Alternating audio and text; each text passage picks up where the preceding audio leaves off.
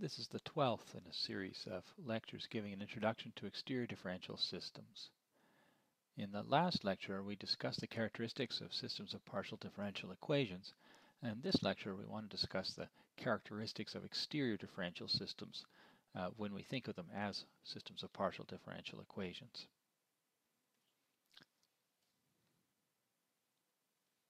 So let's give a definition of the characteristic variety of an exterior differential system and I'll leave the, the, the student to investigate why this definition corresponds to the definition we wrote down in, partial differential equations. To prove the equivalence of these definitions is a problem in the lecture notes, and the solution is given in the back in case you can't see how to get it to work out. So let's start with an integral element E, which is p-dimensional, an integral element of an exterior differential system I. Hyperplane in E is said to be characteristic if it also lies in some other integral element, EP prime not equal to EP, so also p-dimensional, um, but not the same one. So again, this is this is this is a definition which is rather different from the definition we had last time for partial differential equations, which was defined in terms of of looking at, at wave momenta um, the characteristic variety here is the set of characteristic hyperplanes. And um, I leave you to check that that corresponds to the notion for PDEs. Now, why would we be interested in this kind of a thing? Here's at least some motivation, some intuition for how we can think about characteristics. An integral element is supposed to be thought of as something like an infinitesimal integral manifold. And similarly, an and in, a characteristic hyperplane should be thought of as something like an infinitesimal characteristic hypersurface, where a characteristic hypersurface means a hypersurface in an integral manifold, all of whose tangent planes are characteristic. So if we had a characteristic hypersurface, we would expect that there might there would be two integral manifolds. Each of its tangent planes lies in two different integral elements at least. So we'd expect that maybe it lies in two different integral manifolds. Again, there's no rigor behind that, but it gives us some sort of uh, expectation, some uh, some intuition for what's happening here. Um, so that means that the characteristic hypersurface could be thought of as a kind of a possible non-tangential intersection of integral manifolds. It might be a non-tangential intersection of integral manifolds. Again, no rigor, but some intuitive sense that we have these two different integral manifolds slicing through one another non-tangentially.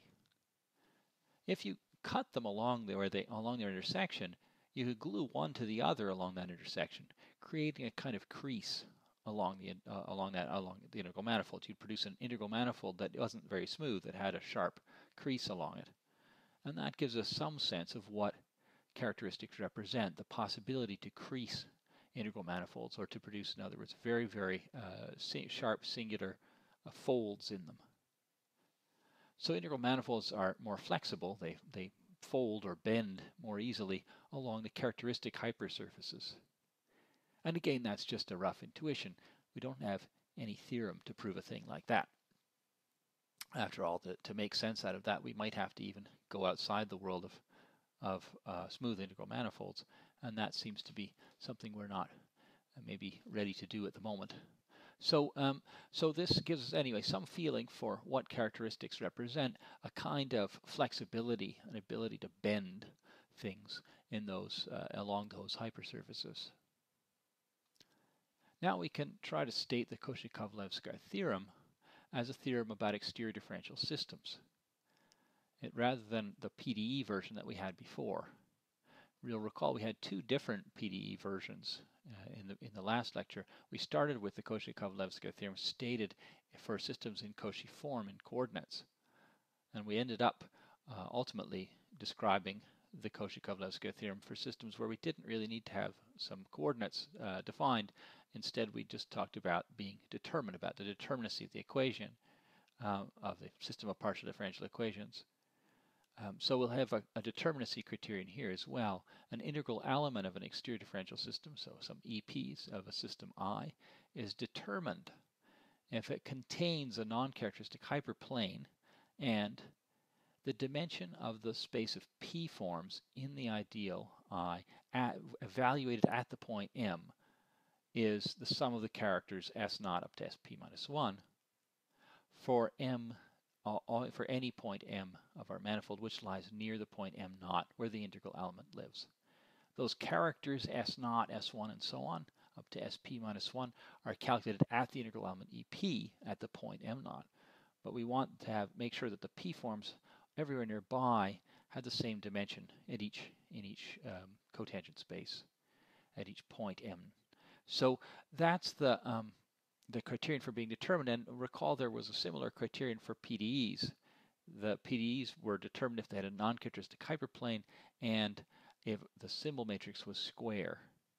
So you can, again, you can check in coordinates that square symbol matrix corresponds exactly to this particular um, equation on the on the, the, the p forms. This uh, th this is something again I leave you to check and uh, once again, it's uh, it's a problem in the lecture notes, and the solution is uh, is, is given in the back of the notes. So that's what we will call determinacy, and it corresponds uh, in in coordinates to determinacy of system of the system of partial differential equations for p-dimensional integral manifolds. So here's the Cauchy-Kowalewska theorem written in this language. We take a non-characteristic integral manifold. So that means that its each tangent plane is a non-characteristic hyperplane in an integral element and therefore in a unique integral element. Um, now we suppose that every tangent space is a hyperplane in a determined integral element. And then um,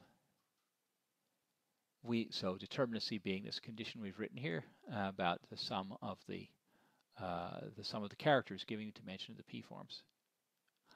Then we can apply Cauchy-Kowalewska theorem and X is a hypersurface in an integral manifold. So we can fatten it up from being p minus one dimensional to being a p-dimensional integral manifold as long as we have this uh, condition of being non, non-characteristicity and, and determinacy, we can fatten things up. And the, uh, the integral manifold of dimension p is locally unique, which means that any two of them will agree near enough to x. So uh, so this gives us a, a, a version of the Cauchy-Kowalewska theorem, which, uh, which is described in the language of exterior differential systems. And we can see that it's a little bit better than the Cauchy-Kowalewska theorem as stated. When we stated originally in Cauchy form, we had a somewhat, somewhat weaker result in that um, in, this, in this situation, this, this non-characteristic integral manifold xp minus 1 might be very large in some sense. It might not live in a single coordinate chart. There's no use of coordinates here. So we don't need to worry about whether or not there's a single coordinate chart in which we can write x down. And that means we, we aren't really um, working out uh, an equation in Cauchy form, but we're, we're saying that if you pick a point of, of, of, this, of this integral manifold x, you can find some coordinates in which this uh, construction of this integral manifold becomes a, a Cauchy problem in Cauchy form. And then, uh, by uniqueness, by, by the local uniqueness property, you can glue those local solutions together to produce a global solution.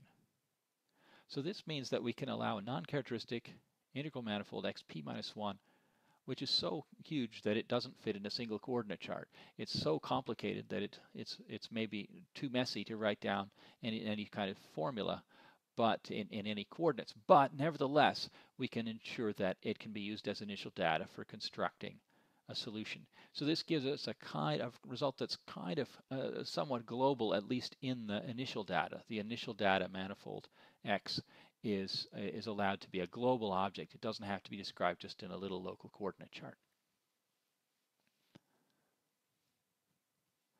So let's try an example, see if we can apply this to an actual problem. So we're not using Cauchy, uh, the Cartan-Kähler theorem now. We're just using Cauchy-Kowalewska theorem as I've stated it. So we've got to try to see an example where we can construct uh, using we can construct an integral manifold using only that uh, Cauchy-Kowalewska theorem. Let's look at triply orthogonal webs. Take a surface S in Euclidean three-dimensional space, and let's see if we can build a triply orthogonal web with initial data specified along that surface. Let's pick an orthonormal basis E1, E2, E3 at each point of S analytically varying as we move along S. And uh, we'll assume that these E1, E2, and E3 are defined only along the points of the surface S. They at each point of the surface S, they form an orthonormal basis of, of Euclidean three-dimensional space, but the, the basis um, can vary. It can vary analytically as we move along S, and it's only defined, such a basis, only defined at the points of S. And we'll assume that none, none of E1, E2, or E3 is, is anywhere tangent to S, okay, at any point. So there's no point of S at which any one of those three vectors becomes tangent. So given such an orthonormal system along S, we want to claim there is a triply orthogonal web defined near S whose leaves are perpendicular to E1, E2, and E3 um, along S. So we can use E1, E2, and E3 as initial data to be to represent the normals of, of the leaves of this triply orthogonal web. And any two such triply orthogonal webs agree near S. So there's an existence and uniqueness result. Again, this is different from what we proved previously about triply orthogonal webs because what we did previously was just to show that there exists a large collection of triply orthogonal webs, um, that they depend on so many functions of so many variables. Uh, in this case, we're actually able to write down those functions. Those are the components of this of this orthonormal E1, E2, E3, and uh, they're uh, functions of two variables. The, the two variables are being the, the coordinates on S, local coordinates on S. So we're doing much better here. We can not only um, prove the existence of large collections of triply orthogonal webs, but we can see that the initial data we get to specify can be defined all the way along a surface S, and the surface could be very large. It doesn't have to be bounded. It could be any surface whatsoever. So that's uh, that's re really a, a, a, a, more global result in the sense it's global along S. We, uh, we construct with global initial data defined along S, but it's it's not it's not global across S. It only uh, it only produces a triply orthogonal web in some little thickening of S into a three-dimensional open set uh, near S.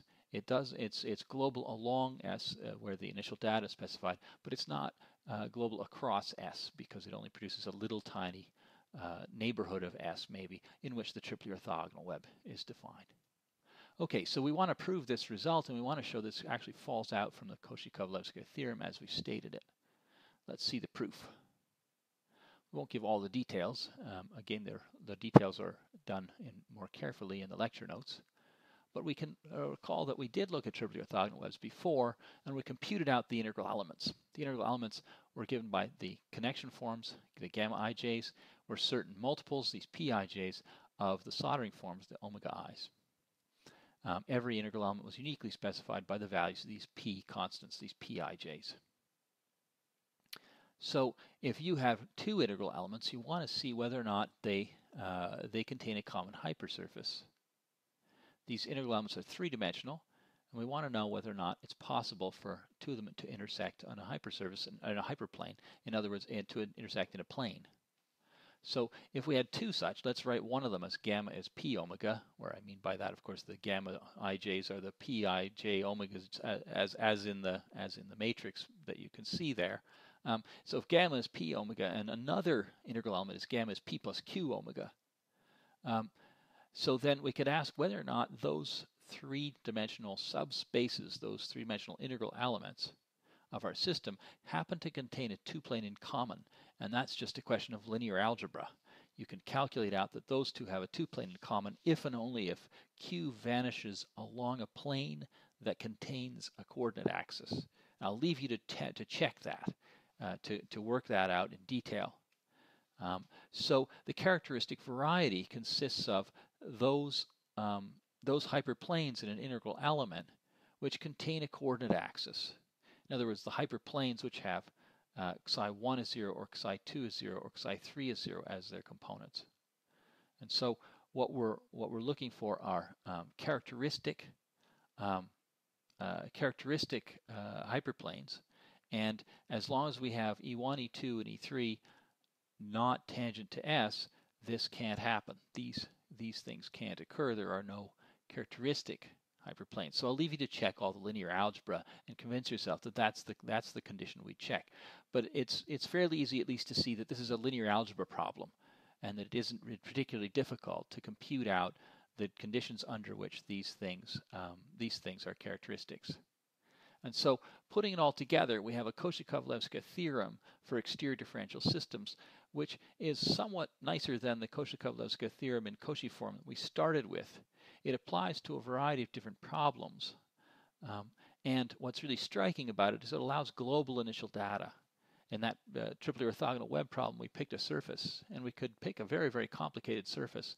And we don't have to have it be a surface where we know how to write down some kind of local coordinate description but we only get local solutions near that initial data. So we specify some initial data globally, but it only constructs local solutions, only get local solvability. Okay, so next time we're going to try to uh, prove the Cauchy-Kowalewska or the, the Cartan-Kähler theorem uh, using this Cauchy-Kowalewska theorem. And uh, we'll, we'll see then that we can get a much stronger result than the Cauchy-Kowalewska theorem um, and we can also use this variant of the Cauchy-Kowalewska theorem to allow ourselves to construct solutions in Cartan-Kähler using some non-characteristic initial data that might also be global initial data producing local solutions.